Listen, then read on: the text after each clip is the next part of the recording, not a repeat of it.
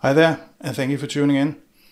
This is a micro SD card. I hope you can see it. It's rather small. Some years back, I saw a video by Tony Northrup where he said, make sure that uh, you have a spare memory card stored somewhere where it's accessible, accessible for you should you forget your memory card in your car, in your backpack, wherever.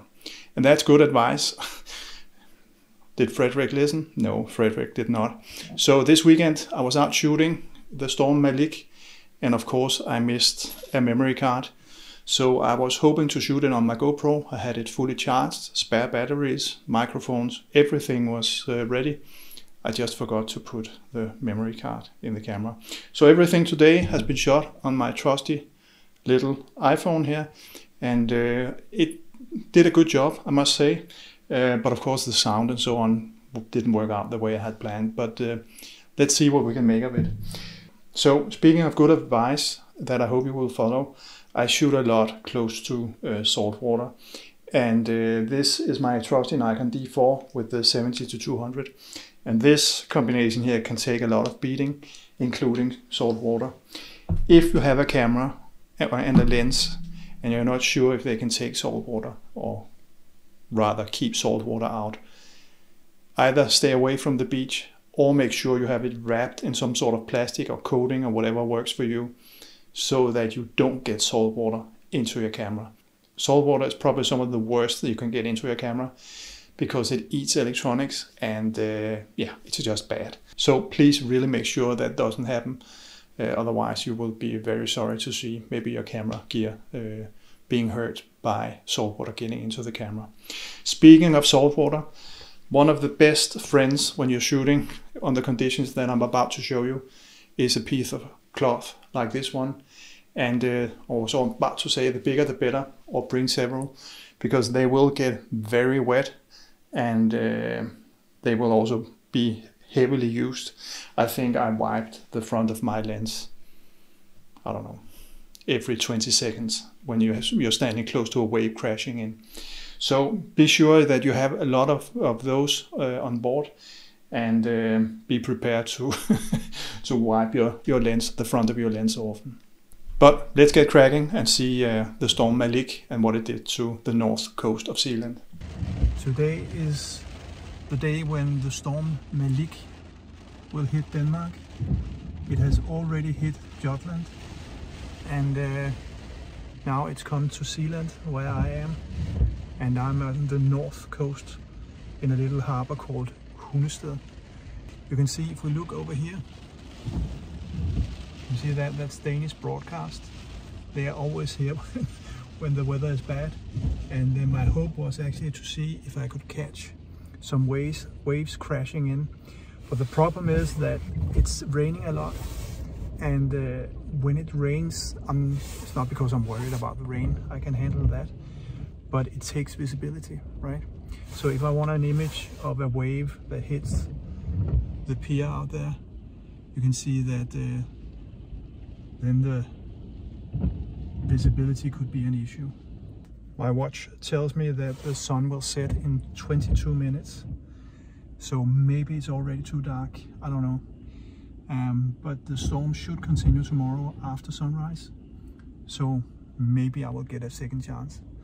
But I will I was about to say buckle up but I will put on some clothes for the weather and uh, see what I can do. And hopefully I won't fly away. But otherwise if, if I come back then uh, I will show you what I made of it. So this is what met me when I got out of the car. Definitely a strong wind, but not as strong as uh, it would be later in the day, so the wind would pick up even more speed than what you see here.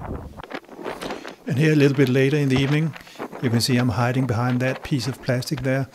That turned out to be a very good friend to avoid getting water both on myself and the lens and camera and it's actually quite dark here, difficult to see, but the iPhone does a really good job of compensating for the fact that there isn't much light.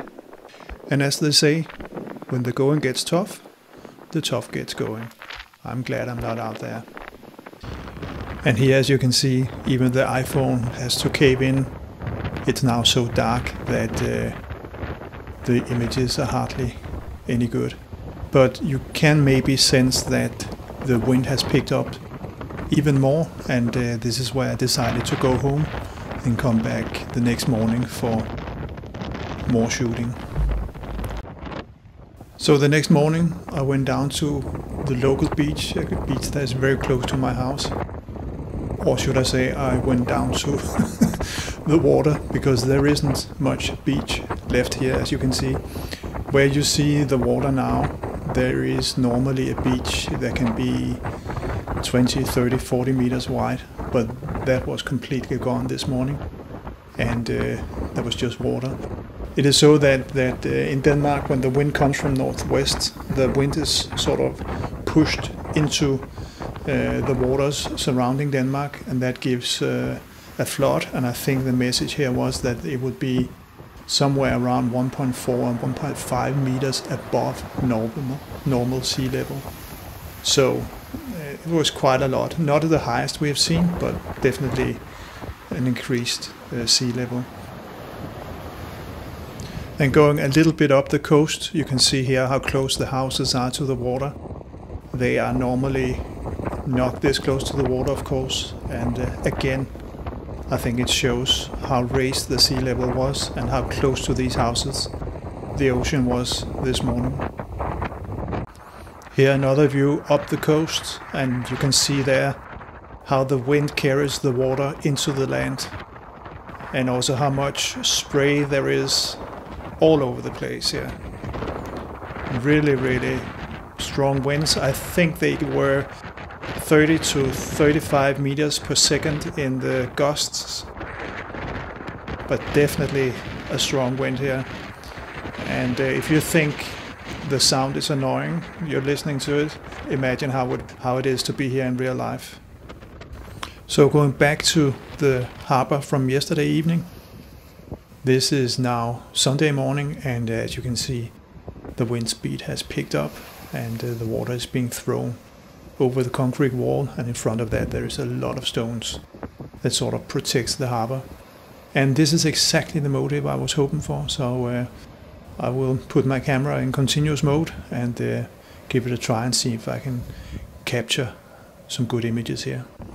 After that I went to another harbor that's close nearby called Lynæs and in that one it was more the flooding that struck me and uh, you will see here in the footage right now that the the piers that are normally here, the wooden piers, they're completely gone. It's just poles sticking out of the water. So I ended the day going back to where I started. A new beach this time, or a missing beach, if I can say it like that. But you can see here to the left, the sun is rising, and uh, that hits the waves in a very beautiful way. And uh, I hope to get some good pictures here as well. But once again, a beach missing. So before we look at what I got, I just want to show you two images that I took in the evening the same day and it was so wonderful just shooting some woodland without any noise in my ears, without any fight to hold on to my camera. Just a very relaxing experience in the setting sun. And on that vein, I continue here with some images that show the flooding. And as you can see, the water level was much higher than it normally is. Maybe the best image was of this guy walking on the pier, but it actually looks like he's walking on water. I didn't plan this shot, so I was very lucky to come home with this one. So if we move a bit closer to the drama without all the noise, a storm can perhaps make you feel very much alone and very small, or just make you feel like you are having a bad hair day. So catching a wave is not as easy as I thought. I like to catch the wave when it's breaking or just about to break and uh, that timing is more difficult than I thought. I often hit the shutter a little bit too late. So I have my camera in continuous high to make the best of the moment and I also have a very fast shutter in order to freeze the moment. So it's typically a thousand of a second or maybe even faster. So we're coming to the end of the video and I want to show you what I believe to be the two best images I shot on that day. The first one here is a black and white where you have the sun rising to the left and you can see that the sunlight lights up the top of the, the wave and the bottom part is in shade due to the little house to the left. Also I like the way the uh, wave is both dark and light at the same time. And uh, I think there's really a good capture here of the motion and of the power in the wave. And finally, what I consider to be the best image from the shoot here, you can see you have some very strong motion going upwards and to the left, caused by the wind, of course, pulling the water uh, sort of out of the frame. But you also have the water coming over the concrete wall to the right, almost hiding the bottom part of the lamppost and you can see that it looks like fabric, woven fabric, and I really like that detail.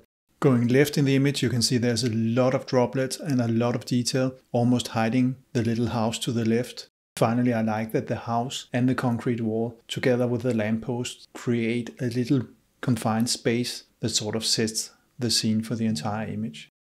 All of the images I've shown you here, they have uh, been put in a Flickr album. I will post a link to it so you can find it. It will also be in the description. Then you can see all the EXIF information and the metrics in case you're curious.